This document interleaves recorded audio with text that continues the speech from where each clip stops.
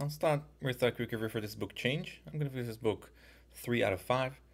The reason is that I couldn't find that much new information in the book. There is some good information, uh, but there was much of the same studies repeated here.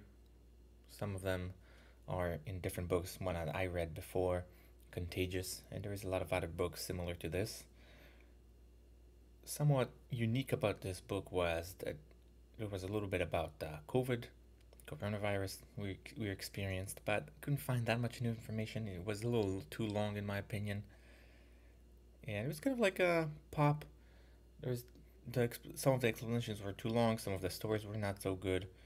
So overall, it wasn't bad, nothing bad, but it wasn't very gripping. So there was some good stuff there, but not a lot. That's why it's a three out of five. Uh, let's see the notes. First one here. Influencers are not as effective at spreading things because they don't truly adapt it. People in the peripheries are much better as they truly adapt it. So what we see here that it's a counterintuitive idea that influencers are not as effective. They usually, according to him, are last the last one to adapt the product. And the better way to do it is people in the peripheries uh, because they really adapt it. The influencers are not really adapting it. Interesting. According, the next one, according to the author, what makes people join dangerous protests is not economic or ide- ideological reasons, rather because they, their social circles are participating. So according to him, it's not because ideological reasons, it's rather because the social circles are participating. And the reason I wrote according to the author, because I have some issues with the idea, because I do think that there is some ide- ideological uh, drawn into it. So I think it's a combination, because then, then you can ask the questions why whoever joined the process first, why do they started coming? Because they don't have social circles there. So you have that you have the problems there. So I definitely feel I definitely think that social circles plays play a role, but I think it's a combination with ide- ideology and other things. Next one is weak ties go far. So he, he's uh, he's saying that weak ties are very important because they could reach far ahead. Next one, virus spread like weak ties, where it spreads in the community and then to the neighboring one. So it's much like weak ties. This is how virus spread slowly through weak ties into community, and then it keeps on moving to different communities. Incumbency is extremely powerful. That's the problem. It's not a new idea, but incumbency is the problem of change where the incumbent always have nor, uh, more power. First adopters are extremely important and can ruin the launch of the product, i.e., Google Glass. So the thing is that you have to choose the first adapters very carefully because what happened in the Google Glass, uh, whoever adapted it were not relatable. So people didn't like it. That's again according to him. That's why it didn't work. I think there's another thing that didn't work is privacy issues and the fact that it looks too invasive and things like that. So it's not the full pictures. That's one of the problems I had. And it's, it's actually related to this one. Let's read it first. So next one is night. Uh, side note: Some conclusions are somewhat questionable, and I wrote it just a little bit after the the Google Glass idea, because he draws some conclusions that are not definitive in my opinion. There could be other things that, for example, in the Google Glass idea, there could be other things that, such as I just mentioned, that other than the first adapters not being relatable, there is other issues that he, he just uh, not denied, but he just ignored. According to the author, the reason Google Plus failed is because everyone had it. So again, it's another conclusion that I didn't fully agree with because he said like it was everyone had it so it wasn't special.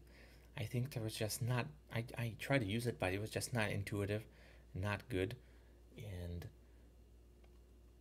there was many other social medias that at the at the time had more features to it. Google Plus had no special features, so I think there was more than the fact that everyone had it. That that was not a good one. Legitimacy is a barrier. So one of the barrier for change is legitimacy. If there is no le- legitimate legitimacy, it's a problem. Next one is coordination is another barrier to change, which is why the Bar- the British Army allowed enlisted friends to fight together, which helped recruiting. So that was uh, interesting or an effective tool they, they implemented to compensate for lack of coordination. So what they did, no one, not a lot of people wanted to enlist in the army.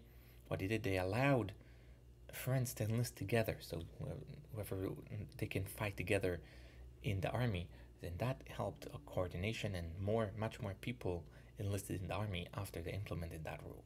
Just an effective recruiting tool. Next one is weak ties are more like narrow bridges, while strong ties are wider, which allow redundant information to travel. So that's the difference between weak to strong ties. Weak ties are more, it's a, that's a good metaphor to think about. So we have narrow bridges are more like weak ties. There is not a lot of information going through unlike strong ties, which are more like wide bridges and they allow even redundant information to travel through, and that's how tra- information travels better. Narrow bridges are fragile and limited in their capacity for information transfer. That's one of the problems with narrow bridges. There's not a lot of information traveling through, and it's limited. Similar peer are more influential on our decision than experts. That's again, it's not new, but again, good to reiterate that that people like us are more influential on our decisions and and than experts. Experts are not as influence influent. Sweden suffered from coordination dilemma after changing the driving side. People didn't know how others will behave. So what happened? Sweden changed the side of the road where they where they ride and mm, the first day, people had coordination dilemma. This term is saying that we didn't know we don't know what the others would do. So they didn't report that much accidents, but when they spoke to people, they they figured out that there was a coordination issues where people didn't know what to expect. So let's say you're driving on the right side of the road, the new right side of the road, you don't know how the other driver would react. So if let's say if they're middle of the road, you don't know how they're that. Are they aware of the situation? They're not aware of the situation. So it's something that could arise when there is change. Next one is in, instead of using influencers, it's better to pay people from a small circle of friends to promote something. If they all adopt it, it's better and more effective, more cheap or cheaper